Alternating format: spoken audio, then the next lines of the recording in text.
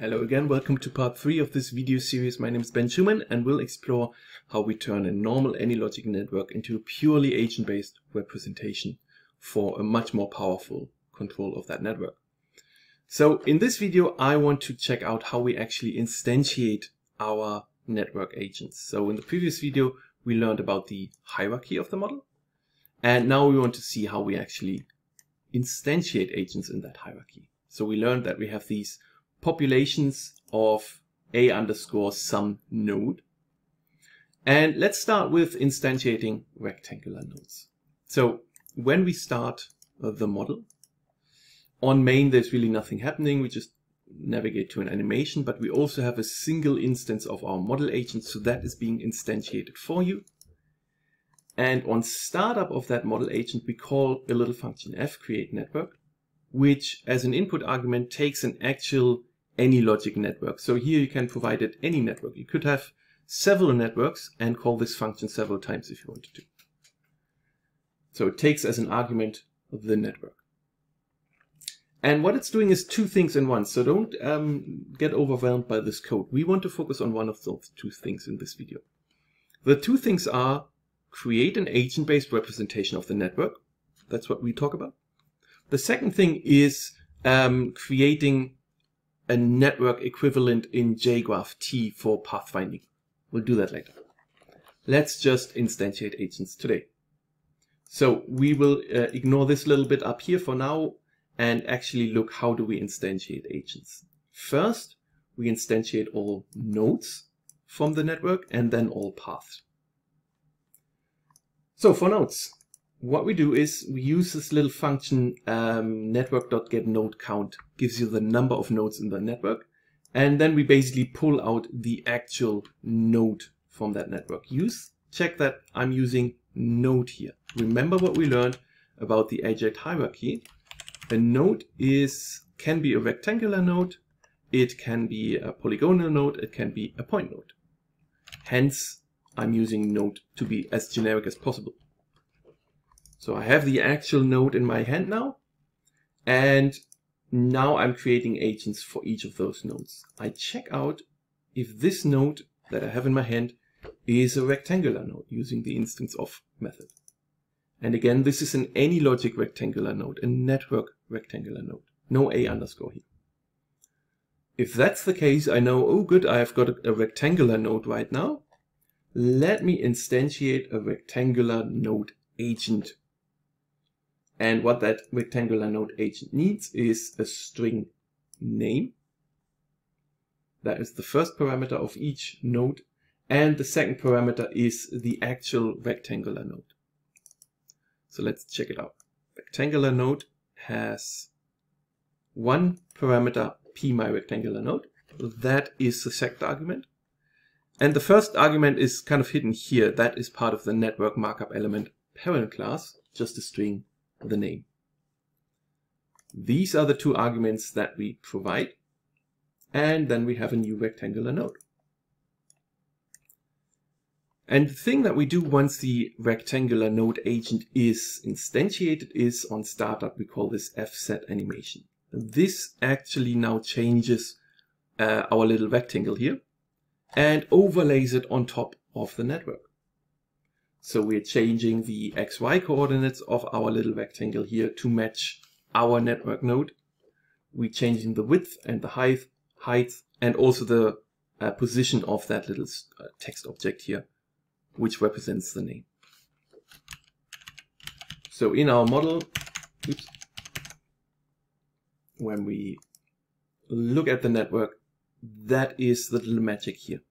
Above each network rectangle, we now have a agent representation, which you can click on. It's exactly the same position, width and height than the network object. And not much more to it.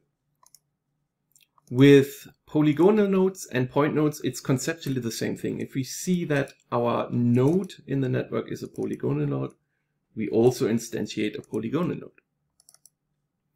Polygonal node is being instantiated, we call the same function fset animation on start. But this one is slightly uh, more involved because a polygonal node is made up or is constructed differently. So we change the xy coordinate of our polyline now. The visual representation of a polygonal node is a polyline, which is again part of the presentation library. And it lets you provide it with as many points and put those points in whatever position you want to. And that's exactly what we do in this code. First we set the xy position to match our actual polygonal node. Then we say how many points should this little polyline have as many as our, our polygonal node. And then we set for each point the xy coordinates to be exactly the same as with our node. We change the text position and that's it. And this gives us these polygonal nodes here. You see that they are not rectangles. These completely duplicate the polygonal node, but they're actually polylines that have an on-click call. Then point nodes, conceptually exactly the same thing. We instantiate, if we find out our node is actually a point node, which is uh, one of sorry, one of these things here. One of these things here. We have a couple in the network. There we go. Point node. It's called rectangle 17. That's just a bad way of naming things. But it's part of the network node. If we find out that we have a point node, then we instantiate point node agents with a string name and the actual point node typecasted. And with the point node, it's almost, well, it's a lot simpler than with a polyline. We represent it with an oval. So it can be, it can have different sizes actually. On the instantiation, we call the set animation function. We change the XY position of the oval, well, of the agent itself and thereby of the oval to where the point is, set its radius to what the point node radius is because point nodes can have different radii. radii. If I make this bigger in the network, you have bigger nodes. And then we change the text name again.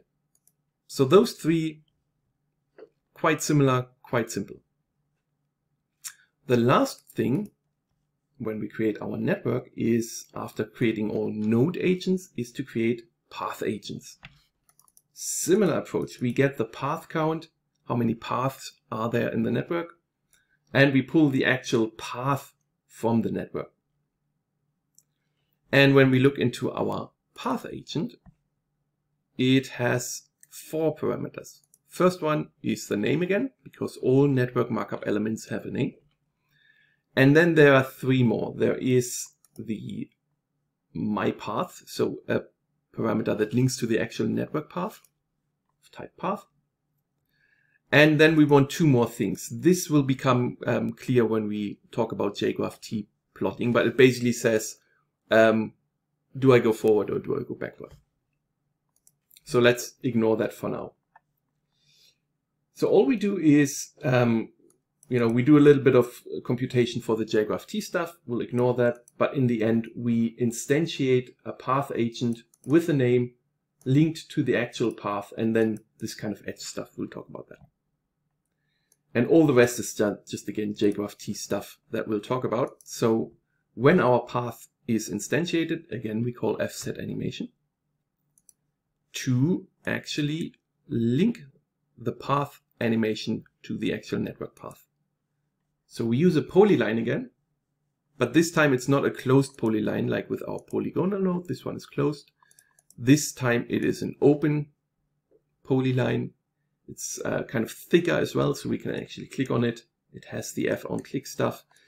And what we do again conceptually is similar to what we did with a poly polyline. We set the XY coordinates. We change the number of points to match what the path in the network had and then we loop through each point and basically it's a it's a little messy code but we put each point where it should be um, there's a little bit of magic here trying to go into the actual network path and get the individual points of where they are using segments and stuff. Uh, check it out but this duplicates a network path into a polyline. Changing the text again or the text position. Here also changing the color. If it is a bidirectional path we make it kind of green. Otherwise we make it gold, hence most of them look green, this one looks gold. And that's it. This is how we instantiate our agents. If you would simply strip out all the JGraphT stuff, you would still have now an agent-based representation of your network. You'd have the on-click capabilities. Uh, you could do with these agents what you want, um, but you wouldn't be able to use actual network traveling through the network. AnyLogic would still use its own network, so it would not yet work. You'd only have an agent representation, not quite useful yet. So in the next video, make myself bigger again. In the next video, we will start looking into JGraphT and how we uh, set it up, how we create a representation of the network in JGraphT, the conceptual network representation, and then how we actually use it in our agent-based. So stay tuned.